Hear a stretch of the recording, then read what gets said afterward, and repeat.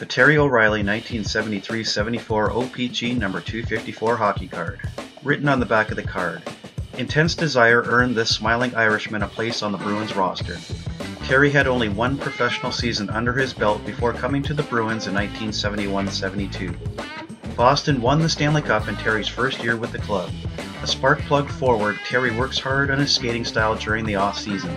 Hustling style is popular with fans. A closer look. Terry O'Reilly was a first round pick by the Boston Bruins at the 1971 NHL Amateur Draft, 14th overall. At the time, he was coming off a three year junior career with the Oshawa Generals.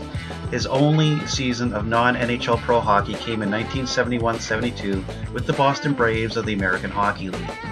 O'Reilly helped the Braves to a tie for first place overall in the AHL with the Nova Scotia Voyageurs,